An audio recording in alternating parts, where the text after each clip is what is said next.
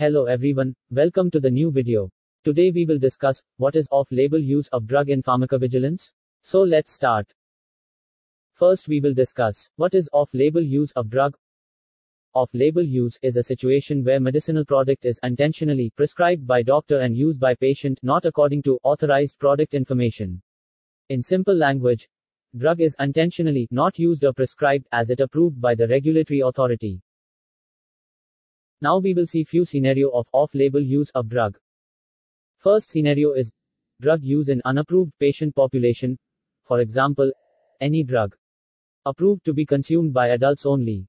However, doctor intentionally prescribed that drug to child for treatment of any medical condition. This is called as drug use in unapproved patient population. And this scenario is treated as off-label use. Second scenario is drug used in unapproved indication. For example, any drug approved to treat medical conditions like headache and anxiety. However, doctor intentionally prescribed that drug for the treatment of back pain. This is called as drug used in unapproved indication. And this scenario is treated as off-label use. Next scenario is drug use via unapproved route of administration. For example, any drug, approved to be consumed or administered to patient via subcutaneous or intramuscular route of administration. However, doctor intentionally prescribed that drug to be administered via intravenous route of administration. This is called as drug use via unapproved route of administration. And this scenario is treated as off-label use. Next scenario is drug used in contraindicated patient. Contraindication is special situation in which specific drug should not be used by patient. Because it may be harmful to the person. However, doctor intentionally prescribed that drug to the patient for treatment of any medical condition. This is called as drug used in contraindicated patient. And this scenario is treated as off-label use. Next scenario is cutting or crushing of tablets or capsules before use. For example, any tablet approved to be consumed whole as single dosage regimen.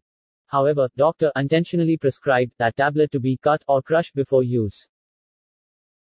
This is called as drug use by cutting or crushing of tablets or capsules before use.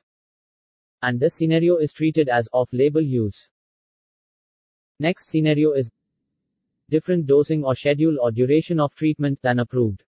For example, Tablet X, approved to be consumed by patient at a dose of 30 mg via oral route of administration. And for the treatment of medical condition, fever.